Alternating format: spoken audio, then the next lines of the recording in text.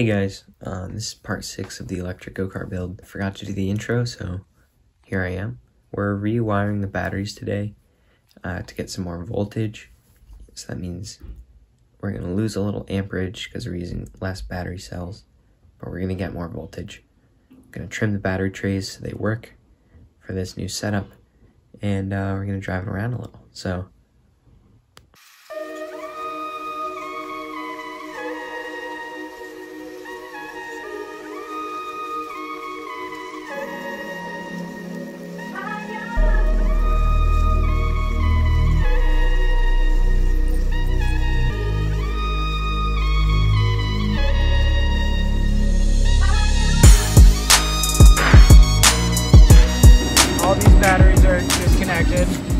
I did the math. Four screws on each post, two posts on each battery. So eight screws per battery, 32 batteries. I'm undoing and redoing 256 screws. Well, actually, I'm not redoing all of them. So probably only about four 450 or so once I'm all done, you know. I'm gonna uh, clean them off because this is the only time that they can really be nicely cleaned, and then modify the battery trays. They're they're actually teal. It's a lie.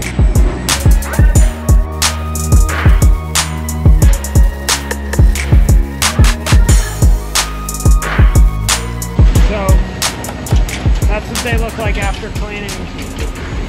It's not perfect, but it's it looks a lot better. I just pulled this off with a bandsaw. Um, pretty much we need to make the battery trays smaller because we're putting less batteries in. Um, and they also need to be a little shorter that way. You can see that line that's marked there to cut because before it had plates on the end. It was like a quarter inch or an eighth of an inch on both sides. We cut cut it off, cut this apart, put it back together. Pretty much that's the strategy. All right, so I finished one side.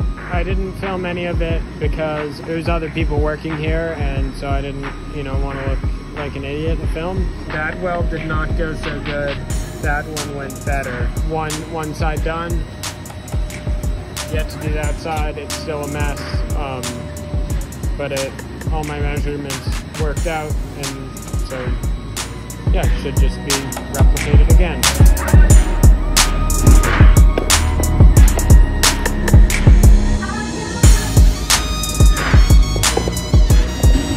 We're wiring the batteries different now, the BMS system won't fit on it anymore because there's like connections that are short and then connections that are long. The long connections go between batteries the long ways, the short ones go across batteries. So we'll probably have to rewire all of that. I'm just putting the plates on that just are the actual connection between the batteries in series. And then I'm going to do a little research about the BMS systems and um, see what we can do about that.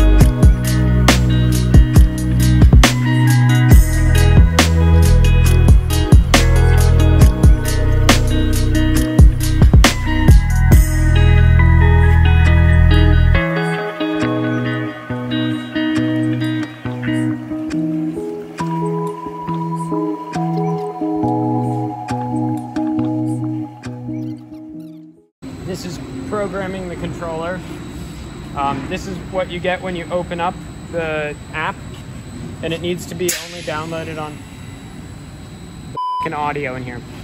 Only on PC it works, and then you plug the cord that I think comes with the controller into the slot, and then this just pops up on your computer. Starts flashing green. Then this just pops up on your computer, and um, there's all these things that you can change. It's really super easy. Right now, we're going to change the voltage. So under voltage now should be, if we're trying to hit 50, let's go like 42, and this one can go 58. All right. Okay. All right, and then you hit set. Um, and then you listen for the fan, and the fan turned on and off, but it's so loud that you can't hear it. I think. Yeah, and it makes a little sound on the computer. hmm That's how you program. Super easy. This is a great software. And then you just close your computer and unplug it.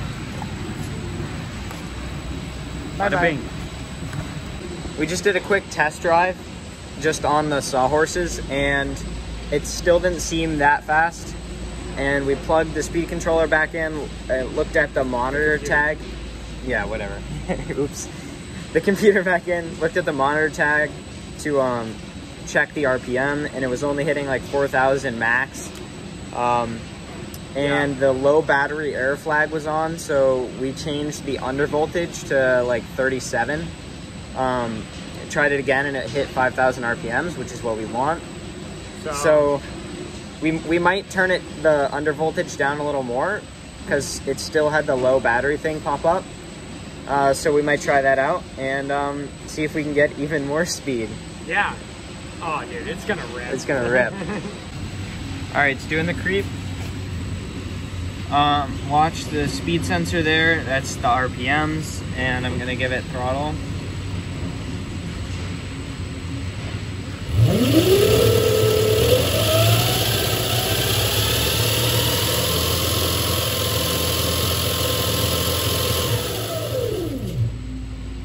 Yeah, it's it's it's hitting uh, RPM limiter, um, which we have set at 5,000.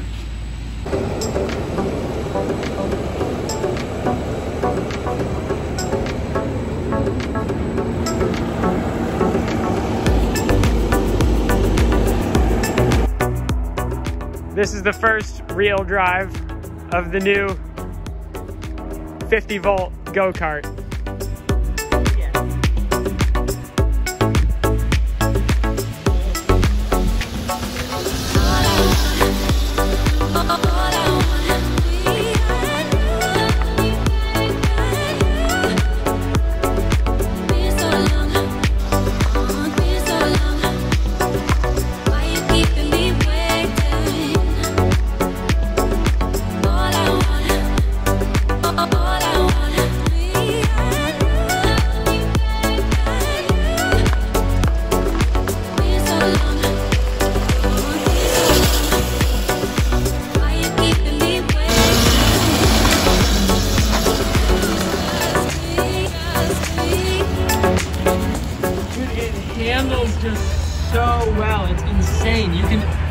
turn the wheel all the way at top speed and it just dives into it. Yeah. Like I it just you just feel like you're up against a wall the whole time.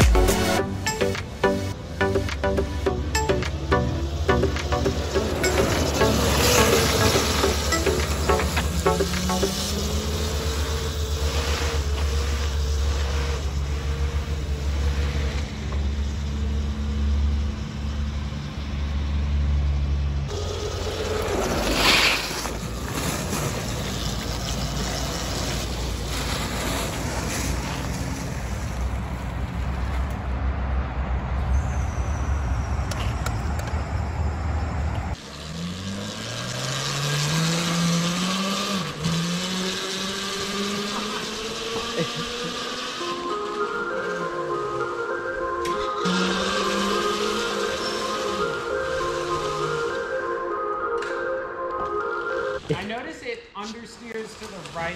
Yeah, me too. Like it won't it won't drift this way, it will drift this way. Yep.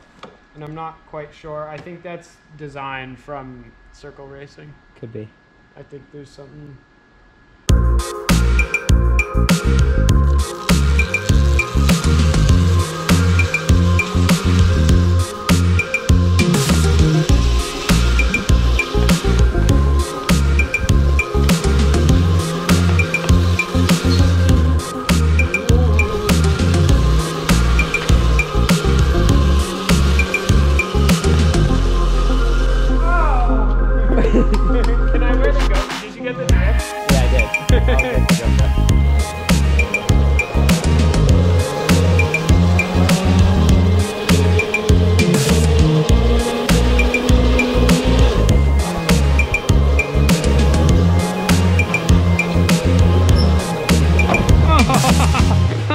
Okay. Oopsies.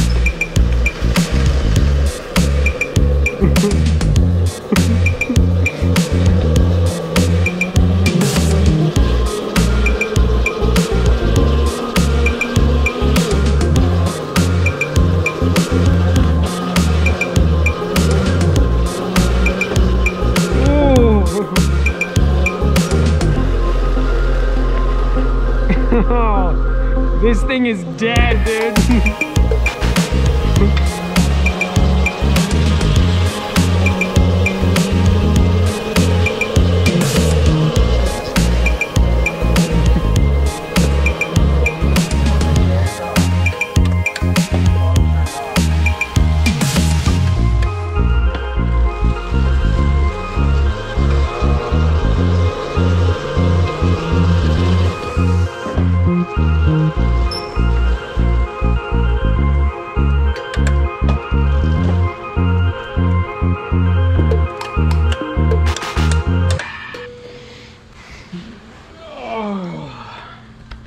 Anyways, oopsies, I hit something. Sorry, Dad.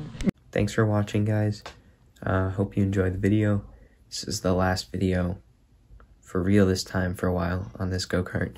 We just have to put the new BMS system on, uh, so we'll figure that out. We're gonna maybe do something uh, like more centralized and a little bit more condensed than the old system that just was very confusing. A lot of wires and the charger we didn't have didn't work um, when you plug the BMS system in, so that was, you know, it wasn't actually doing its job. So we'll get that sorted out.